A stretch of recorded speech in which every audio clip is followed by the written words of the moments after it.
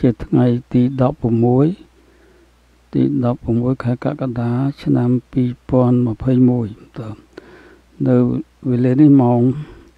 9យប់ម៉ោងនៅទីក្រុងម៉ោងរ៉េអាល់នៃប្រទេសកាណាដាបើម៉ោងនៅកម្ពុជាត្រូវជាម៉ោង8ព្រឹកនៃថ្ងៃទី17កក្កដានៅកាលីហ្វ័រញ៉ា ម៉ោង6ល្ងាចនៃថ្ងៃ16កក្កដាមុននឹងចាប់ផ្ដើមធ្វើការវិភាគសូមស្ដាប់ចម្រៀងមួយបទក្រោមចំណងជើងថា ស្មារតីនៃយុវជន និងយុវតីខ្មែរដែលមានសម្លេងដូចតទៅនេះបង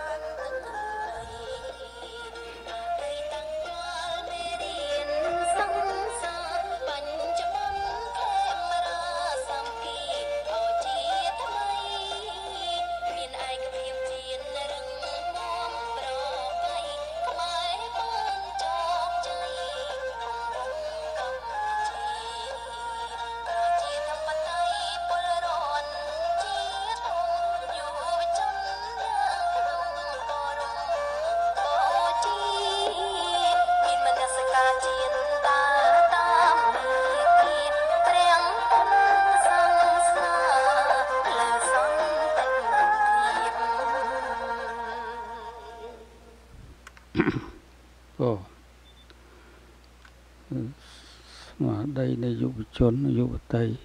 និងយុវនារីខ្មែរគឺជាអនាគតរបស់ប្រទេសបានតាំងចិត្តថាជួយឲ្យប្រទេសកម្ពុជាអឺស្ថិតនៅសុខសន្តិភាពនិងការចម្រើនរលូតតាមរបបជាធិបតេយ្យពិតប្រកបបងតទៅនេះសូមធ្វើការវិភាគ អឺមុននឹងវិភាគបញ្ហាសំខាន់មួយ ដែលអង្គការសង្គមស៊ីវិល64បានអំពាវនាវឲ្យកម្ពុជាស្ដារផ្លូវនយោបាយឡើងវិញមុននឹងចាប់ដើមបទបាយរឿងនេះ សូមបទបាយព្រឹត្តិការណ៍បន្តបន្សំសិនពួក ស្លាប់មកដល់ថ្ងៃនេះមនុស្សស្លាប់ដោយ COVID-19 នេះឡើងដល់1054នាក់បង52នាក់1052នាក់ហើយឆ្លង ជាង60000នាក់បងជាង60000នាក់ប៉ុន្តែមើលជា50000នាក់ជាងហើយ គួរឲ្យឆ្ងល់ដែរថាចាក់វ៉ាក់សាំងបាន5លាន4សែននាក់5លាន4សែននាក់ហើយហើយថាគម្រោងចាក់ឲ្យបាន10លាននាក់ហើយចាក់បានពាក់កដាលជាងតិចហើយហេតុអីបានជាឆ្លងកាន់តែច្រើនឡើងអត់ថយសោះបងគឺថាចាក់បានច្រើនឆ្លងកាន់តែច្រើនអឺកាលនេះឆ្លងតិចឥឡូវ ដល់ចាក់វ៉ាក់សាំងឆ្លងកាន់តែច្រើនឡើងគេដូច្នេះគេសង្ស័យវ៉ាក់សាំងចិនបើភាគច្រើនចាក់វ៉ាក់សាំងចិនអឺតើវ៉ាក់សាំងចិនមានកម្រិតបែបណាអឺមានពីរបែបវ៉ាក់សាំងមួយបែបដំបូងដូចអង្គការសុខភាពពិភពលោកទទួលស្គាល់ប៉ុន្តែស្គាល់ថាមានកម្រិតទាប ដែលលើកទី2ប្រកាសទី2មិនទាន់ទទួលស្គាល់ទេហើយកម្ពុជាបានទិញបាក់សាំងចិនទាំងពីរប្រភេទនេះ មកចាក់ឲ្យខ្មែរជាង5លាននេះឲ្យពើបើដឹងជាបែបម៉េចពើសង្ស័យវិបាកសាំងរបស់ចិនហ្នឹងពើនឹងគួរឲ្យ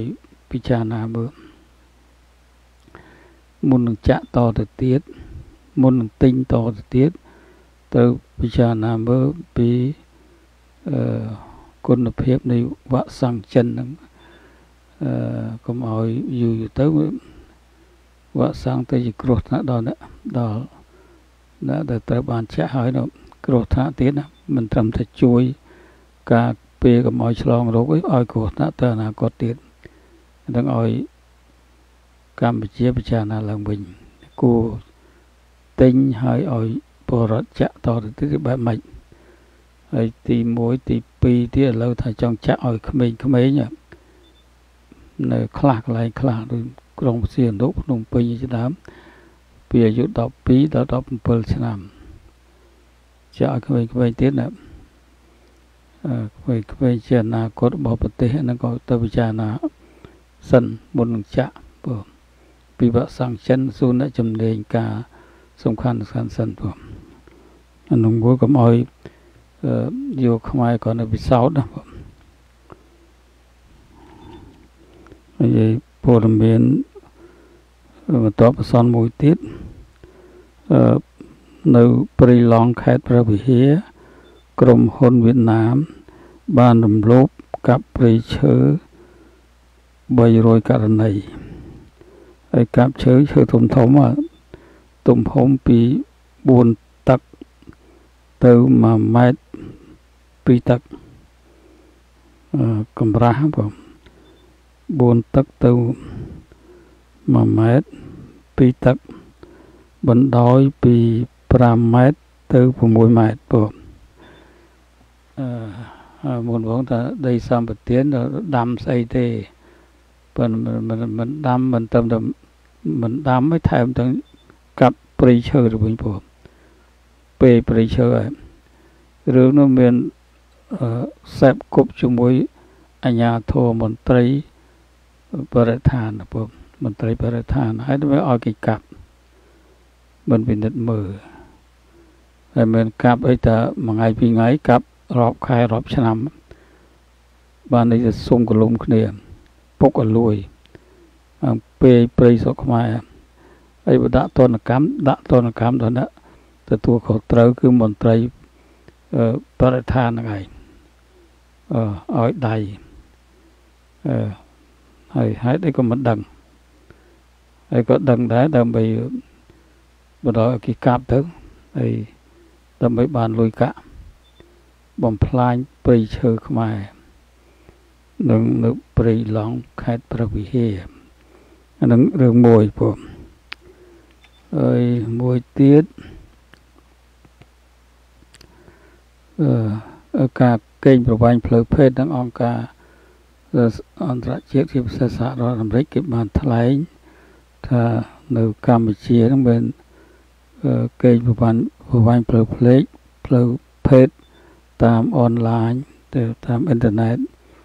នឹងនៅតែបន្តទៅទៀតអឺបានកើនឡើងនៅកម្ពុជាព្រមអត់មានដូចជាបង្ខំឲ្យអាក្រាតកាយឲ្យផ្ញើទៅគេជាដើមព្រមអានឹងឲ្យពិនិត្យមើលច្បាស់លាស់ទៅតាមអ៊ីនធឺណិតហើយក៏ជាពិសេសកេងប្រវ័ញ្ចផ្លូវភេទតាមក្មេងៗព្រោះក្មេងៗខ្មែរតាមអនឡាញតាមអនឡាញតាមប្រព័ន្ធអនឡាញហ្នឹងទៅឲ្យមើលច្បាស់ចាត់ការឲ្យខ្លាំងចំពោះអ្នកប្រព្រឹត្តអំពើមិនកប3ពើហើយអន្តរជាតិជាភាសាសាររដ្ឋអាមេរិកគេគេឃើញហើយទៅខ្មែរខ្លួនឯងអត់យកចិត្តទុកដាក់អត់ទុកឲ្យគេអឺរិះគន់ទៅវិញពូនឹង ប្រយ័ត្នអញ្ញាធរខ្មែរអឺអឺហើយវ៉ាក់សាំងអឺនិយាយឡើងវិញគឺថាវ៉ាក់សាំងចិនវ៉ាក់សាំងចិនចាក់បាន5លាន4សែននាក់គឺអឺបានជាងពាក់កណ្ដាលហើយព្រោះ បើរោគគម្រោងថាចាក់បាន10លាននាក់ហើយរោគនៅតែឆ្លងចាក់បានចឹងនៅប្រទេសខ្លះគេចាក់បានច្រើនរោគអន់ឆ្លងបងដូចសហរដ្ឋអាមេរិកចឹងអន់ឆ្លងច្រើនណាបងហើយខ្លះគេបធូដៃឬពាក់ម៉ាស់ទៅអីដែរហើយឯងចាក់ច្រើនទៅតែឆ្លងកាន់តែច្រើនឡើងនឹងមើលករណីរបស់ វ៉ាក់សាំងចិនប្រសិទ្ធភាពនៃវ៉ាក់សាំងចិនឲ្យច្បាស់កុំឲ្យប្រើយូរយូរទៅគ្រោះថ្នាក់ដល់អ្នកចាក់បងហើយដែលបានទៅជើងជើងទៅវិញអឺលើមួយទៀតរឿងអឺថ្ងៃសុកមុននេះថ្ងៃសុកមុននេះភរិយា ដែលប្តីត្រូវជាប់ពន្ធនាគារនៅព្រៃសរហើយនៅថ្ងៃសុកនេះ គេបានធ្វើសវនាការអឺបរោះម្នាក់ឈ្មោះប៉ែនច័ន្ទសង្គ្រាមធ្វើសវនាការហើយស្ត្រី10នាក់ហ្នឹងបានទៅឃ្លាំមើលឲ្យអឺដោះលែងទៅ លោកច័ន្ទប៉ែនច័ន្ទសង្គ្រាមផងដោះលែងស្វាមីរបស់គាត់ផងបានត្រូវសុខសន្តិសុខប្រើធម៌ហង្សាផងប្រើធម៌ហង្សាទៅលើស្ត្រីទាំងនោះហើយពេលវិទ្យុអាស៊ីសេរីសួរថាថាគេគោរពច្បាប់ហើយ ច្បាប់ថាអត់បានសុំច្បាប់គឺថាច្បាប់អីច្បាប់ថាមិនខ្លះចែងថាមិនទៅប្រើកំផឹងខឹងទោះនេះធ្វើការអីក៏ទៅមានច្បាប់អឺគេសួរច្បាប់អីអត់ដឹងច្បាប់ទៅទៀតអត់ដឹងច្បាប់ដូចជាច្បាប់ប្រឌិតខ្លួនឯងប្រឌិតខ្លួនឯងរឹតបន្តឹងសិទ្ធិសេរីភាពរបស់ប្រជាពលរដ្ឋដែលមានចែងរដ្ឋធម្មនុញ្ញថាប្រជាពលរដ្ឋ មានសិទ្ធិបញ្ចេញយោបល់តាមសំណេរហើយតាមការធ្វើកោតកម្មបាតកម្មដោយសន្តិវិធីបានខ្លួនឯងអត់ចេះច្បាប់នេះឈ្មោះលោកអីឈ្មោះលោកប្រាប់ឈ្មោះលោកភ្លេចវិញហើយនិយាយកំផឹងយើងនិយាយធ្វើបាបគេអត់ទៅបើកំផឹងទេបើកំផឹងបានន័យថាយើងមលោបច្បាប់ម លោបច្បាប់អាខ្លួនអត់ចេះច្បាប់ធ្វើម៉េចស៊ូច្បាប់គេទេបើអញ្ចឹងយើងធ្វើកៅច្បាប់ស្អីក៏សុំច្បាប់ស្អីក៏សុំច្បាប់មើលពេលនេះគឺធ្វើបាតកម្មសុំច្បាប់កុំឲ្យវិជន់គ្នាឬគេសុំឲ្យសន្តិសុខជួយការពារគេអាហ្នឹងបានគេសុំឬនេះគាត់10នាក់10នាក់គាត់ជប់ឲ្យជប់ឧបមាថា10នាក់បក គ្មានទៅទៅបង្ក្រាបគេក៏ដើរមានរៀបរយដែរគេដើរត្រឹមត្រូវ10នាក់ដើរលើចិញ្ចើមថ្នល់បានដែរស្ងប់ស្ងាត់ដល់គេគេសន្តិសុខខ្លួនគេទៅទៅហើយអាខ្លួនឯងទៅទៅរំលោភហើយចុះបើបើសិនបើគេធ្វើអញ្ចឹងយើងក៏សាសន្តិសុខជូនប្រជារាស្ត្រទៅវិញសិទ្ធិសិទ្ធិ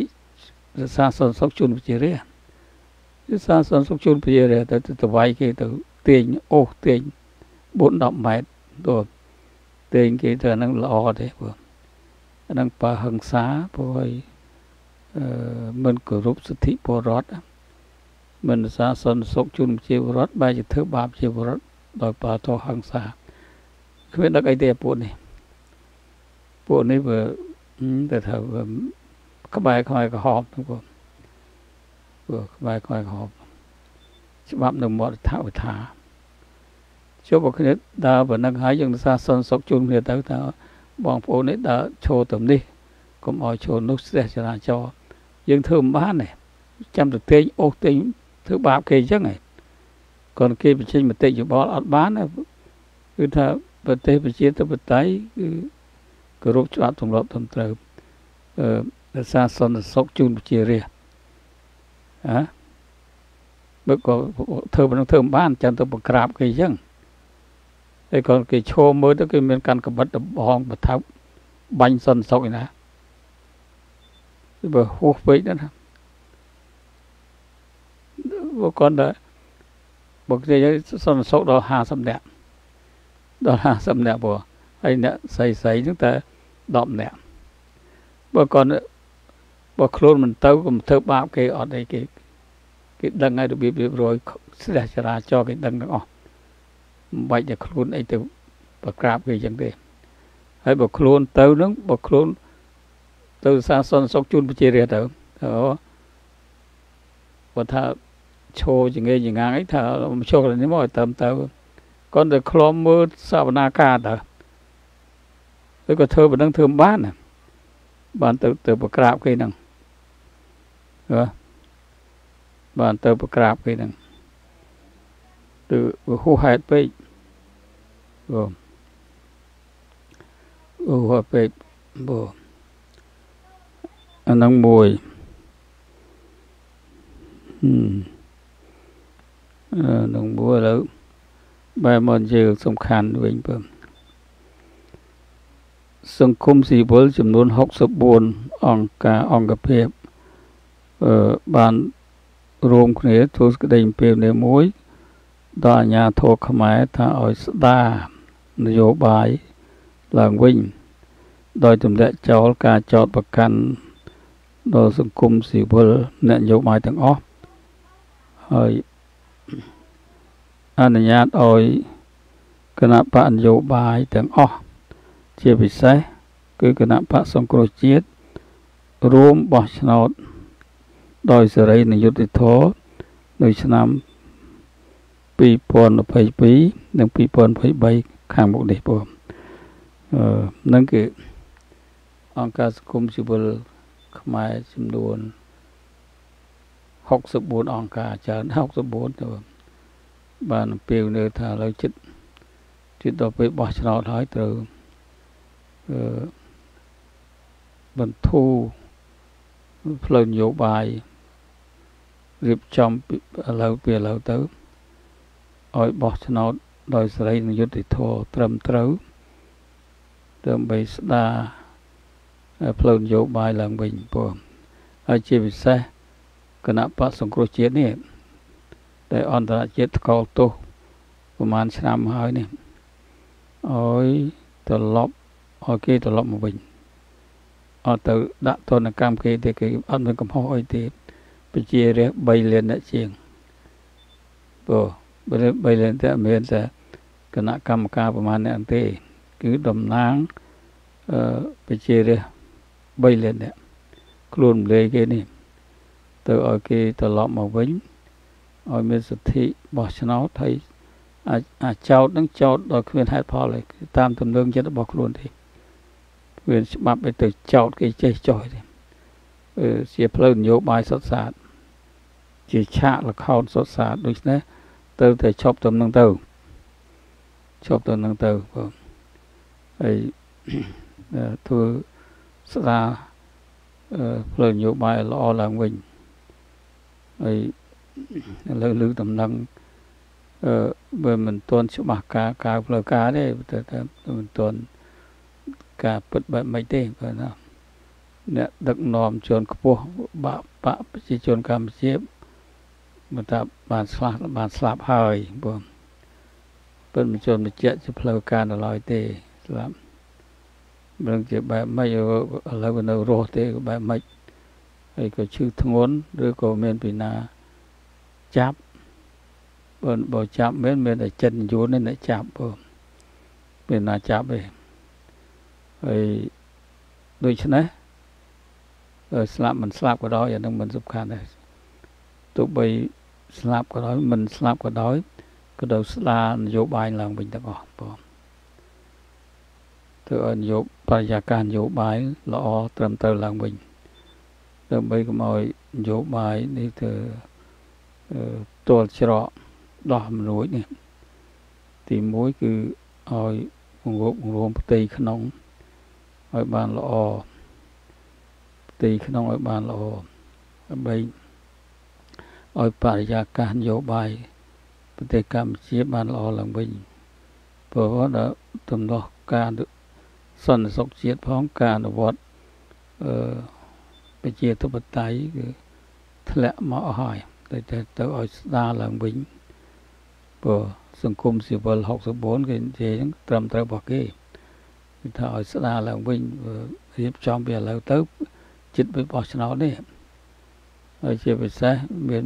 ទំនាស់គ្នាជាមួយគណៈបកសង្គ្រោះជាតិដែលខ្លួនរំលែកគេនេះអឺទៅដកពាក្យទាំងអស់ឲ្យទម្លាក់ចោលការចោតប្រកាន់លោកកឹមសុខាក្តីលោកសំនឹងស៊ីក្តីហើយសមាជិកដតីទៀតក្តីទៅទម្លាក់ចោលទាំងអស់អឺហើយឲ្យអឺការបោះឆ្នោតប្រព្រឹត្តទៅដោយសេរីយុត្តិធម៌នៅឆ្នាំ2022 ជាការបោះឆ្នោតក្រុមប្រឹក្សាគុំសង្កាត់និងបោះឆ្នោតជាតិឆ្នាំ2023ជ្រើសរើសតំណាងរាស្ត្រនឹងបងឲ្យមានបរិយាកាសល្អហើយកម្ពុជាធ្វើឆ្នាំ2022ធ្វើជាប្រធានបដូវវេនផងគឺប្រធានសមាគមអាស៊ីភគ្គនេះគឺស្មហៅថាអាស៊ានហ្នឹង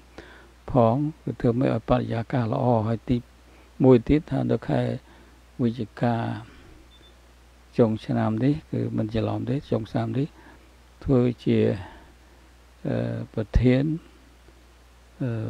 បើកប្រជុំតាមអនឡាញដែរគឺអាអាស៊ីអឺរ៉ុបពងនឹងកិត្តិយសធំណាកិត្តិយសធំណាបើយើងបរិយាកាសល្អយើង នៅធ្វើការលបែងទុច្ចរិតទេគឺថាផាក វាមានឧបសគ្គការប្រជុំនោះប្រជុំកើតមកកើតអានឹងរឿងនោះទៀតព្រោះគឺខ្លះប្រទេសខ្លះគេអត់ពេញចិត្តនឹងបកប្រជាជនដែលរំលាយគណៈបកដ៏ធំមួយព្រោះហើយគេមិនពេញចិត្តមកប្រជុំកំណឹងមកបែបទេណាបើយើងយើងរៀបចំល្អល្អលហើយទៅឲ្យល្អហើយទៅឲ្យបរិយាកាសឲ្យគណៈបកសង្គ្រោះជាតិ មានដំណើរការផ្លូវនយោបាយឡើងវិញដោយពាក្យចោតពាក្យចោតចោតប្រកាន់ទាំងអស់អឺស្ដារនយោបាយបានន័យថាតំណោះអីទាំងប្រមាណដែលខ្លួនចោតគេអីទាំងប្រមាណហើយបិទសិទ្ធិគេទាំងប្រមាណទៅដកចេញឲ្យមានបរិយាកាសនយោបាយល្អឡើងវិញនឹងតាមអត្តន័យរបស់ សង្គមស៊ីវិលទាំង64អង្គការហ្នឹងគេមានន័យចឹងជាបរិយាកាសឲ្យល្អទៅហើយដើម្បីឲ្យស្របតាមរដ្ឋធម្មនុញ្ញហើយឲ្យដំណើរការប្រជាធិបតេយ្យនិងការគោរពសិទ្ធិមនុស្សនេះឲ្យល្អឡើងវិញទៅហើយអឺបើបានល្អទៅ ការប្រជុំនឹងមានតម្លៃខ្ពស់ហើយគេគោរព ហើយបើបានឲ្យគណៈបកសង្គ្រោះជាតិវិលមកវិញទៅនឹងបរិយាកាសល្អហើយគឺឲ្យអន្តរជាតិមកប្រជុំហ្នឹងគឺពេញមុខពេញមាត់គេពេញចិត្តរបស់គេហើយទៅបរិយាកាសល្អគេស្គាល់ទោសពេញពិភពលោកហើយទៅបើមិនល្អទៅគេអត់ពេញចិត្តទេហើយគេនឹងធ្វើដាក់ទណ្ឌកម្មបន្តបន្តទៅទៀតដូច្នេះមានតែគណៈបកប្រជាជនកម្ពុជានឹងកូនសោនឹងខ្លួនហើយ កូនសោនៅលើខ្លួនហើយបងឲ្យដោះស្រាយរឿងហ្នឹងឲ្យទម្លាក់ចោលការចោតប្រកាន់ទាំងអស់នឹងដើម្បីឲ្យមានបរិយាកាសផ្លូវនយោបាយបានល្អឡើងវិញហើយទោះបីពាក្យទៅចាំអារាមដោយមិនច្បាស់ការឬការផ្លូវការជាថាប្រធាននឹងមានបញ្ហាអឺមានថាទៅដោះស្រាយចឹងទៅអាបញ្ហាវាដោះរួចទៅតែទោះបីថា មានហេតុការណ៍បែបមិនក៏ដោយទៅឲ្យមានបញ្ហាដោះស្រាយឲ្យល្អពីស្ដារផ្លូវនយោបាយឡើងវិញព្រោះនឹងសំខាន់ណាសំខាន់ណាឲ្យខ្លួនយើងដោះស្រាយខ្លួនយើងព្រោះ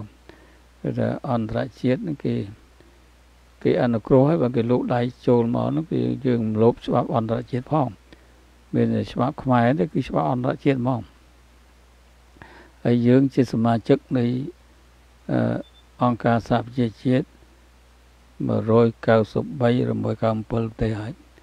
គឺជាសមាជិកអង្គការសហប្រជាជាតិបើយើងមិនគោរពតាមកតកាសញ្ញាអនុសញ្ញាអន្តរជាតិទេ យើងក្រៅក្រៅសមាជិកនៃអង្គការសហប្រជាជាតិដែរអានឹងជាមនុស្សព្រៃហើយបើក្រៅអង្គការសហជីវយើងអត់គោរពអានឹងជាមនុស្សព្រៃណាបងក្នុងព្រោះព្រៃកុំឲ្យគេថាមនុស្សព្រៃរអត់គោរពច្បាប់បងដូច្នេះយើងជាសមាជិកអង្គការសហប្រជាជាតិដោយដោយសន្ធិសញ្ញាអឺកិច្ចព្រមព្រៀងសន្តិភាពនៃ23ដុល្លារ1991ហ្នឹងអន្តរជាតិមកជួយទៀតមកជួយគោរពអឺកិច្ចព្រមព្រៀងសន្តិភាពនឹងផងហើយគោរពរដ្ឋធម្មនុញ្ញរបស់ខ្លួនដែលចែងថា ប្រជាណាចក្រកម្ពុជាកាន់របបប្រជាធិបតេយ្យសេរីភូបៈពោហ្នឹងហើយនឹងផងឲ្យដោះស្រាយអាគ្រុនលេគេនេះព្រោះថាដោះស្រាយបានទៅដូចទៅចូលក្នុងច្បាប់រដ្ឋធម្មនុញ្ញដែលមានជាធម៌មាននៅបច្ចុប្បន្នរដ្ឋធម្មនុញ្ញកម្ពុជា ដែលតាក់តែងនៅឆ្នាំ1993ហ្នឹងផងហើយស្របតាមកិច្ចព្រមព្រៀងសន្តិភាព នៅប្រទេសបារាំង ឆ្នាំ1991ផងហើយស្របតាមសេចក្តីអំពាវនាវនៃអង្គការសហប្រជាជាតិហើយ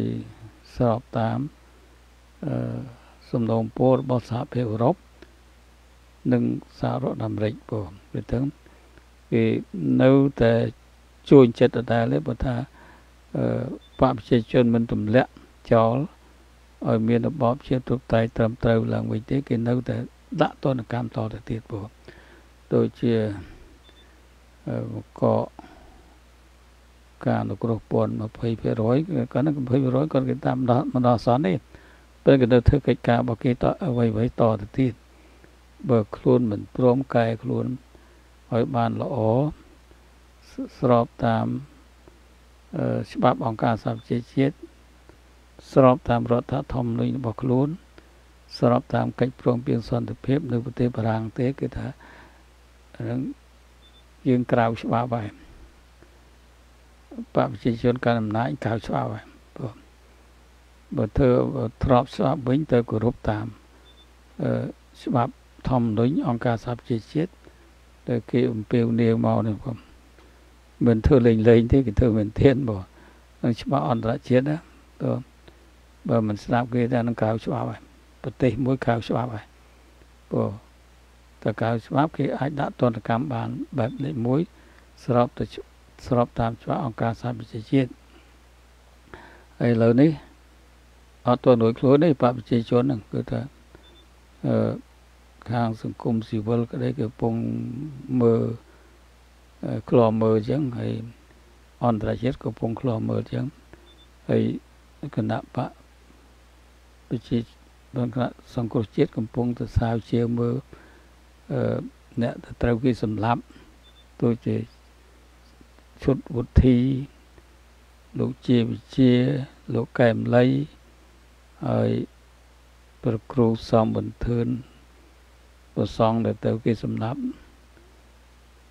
ដែលរមកឃើញនេះកំពុងសាវជាហើយហើយបកខោបែក3 4ក្របនៅមុខវាំងនៅស្នាទី 5ទី6 1997ហ្នឹងអឺហើយធ្វើរដ្ឋបហាសម្រាប់ខាងគណៈបកហ៊ុនសិបិអស់ច្រើន គេកំពុងសាវជាវហើយហើយការរំលោភដីធ្លីលើលើពលរដ្ឋចាប់ប្រជាពលរដ្ឋដាក់គុកដាក់ច្បាប់អានឹងក៏នៅក្នុងកម្មវត្ថុរបស់តុលាការអន្តរជាតិបង ICC នៅគេគេនៅក្នុង dossier គេទេ នៅក្នុងឯកសាររបស់គេបងគឺពងពិនិត្យមើលដូច្នេះនៅ មានបញ្ហាច្រើនណាបព្វជិជនហ្នឹងហើយបើបើសិនបើបន្ធូរបន្ថយបរិយាកាសនយោបាយស្ដារឲ្យមានល្អភាពល្អឡើងវិញទៅការងារនឹងអាចស្រាលកំហុសបព្វជិជនដែលប្រព្រឹត្តទៅលើប្រជាពលរដ្ឋរបស់ខ្លួនអាចធូរស្រាលពោ មានតែប៉ុណ្ណឹងគឺថាឲ្យប្រទេសកម្ពុជា ដែលនៅសល់ដីតិចតួចហ្នឹងឲ្យរួបរวมគ្នាឡើងវិញកុំយកខ្មែរគ្នាឯងជាសត្រូវដោយខ្មែរក្រហមហ្នឹងគឺអាលេងខ្លួនឯងតែប្រព្រឹត្តខុសឆ្កងហ្នឹងយូរទៅអាលេងខ្លួនឯងទៅទៅមាននរណាឲ្យទៅលេងគឺខ្លួនឯងទៅរំលែកខ្លួនឯងដូច្នេះទៅធ្វើ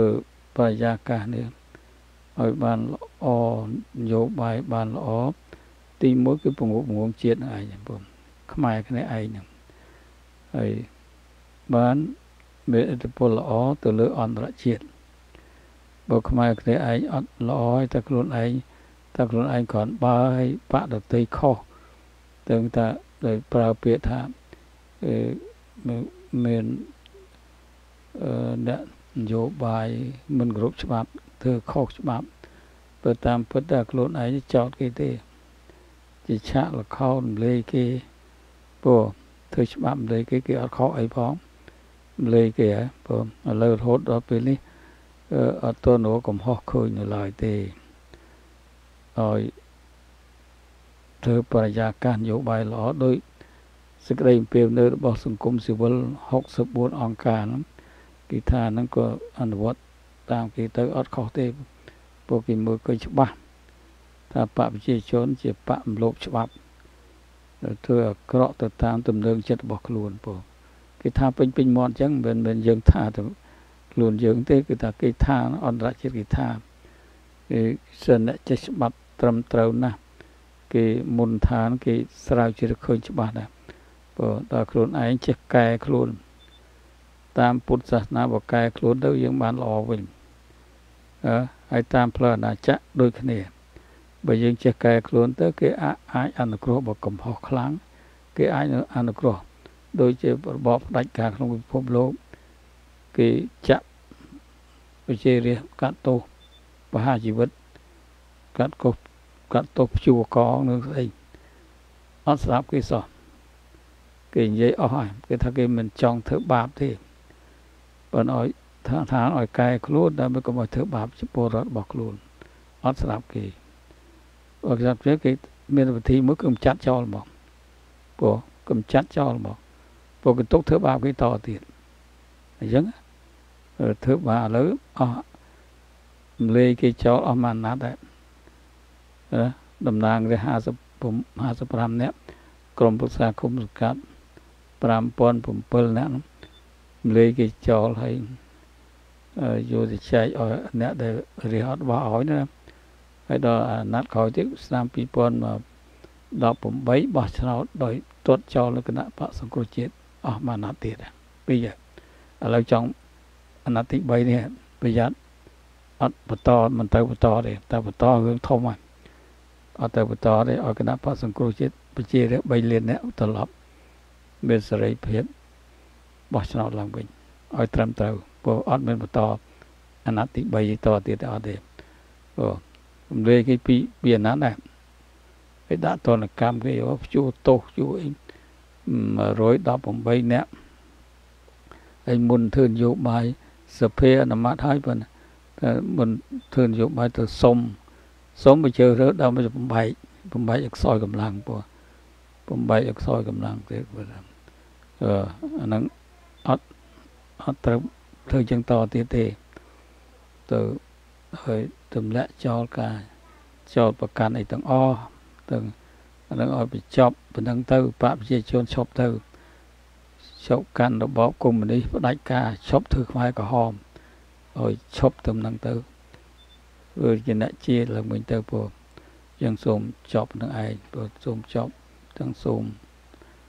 អរគុណព្រោះសូមអរគុណ thank you Thank you.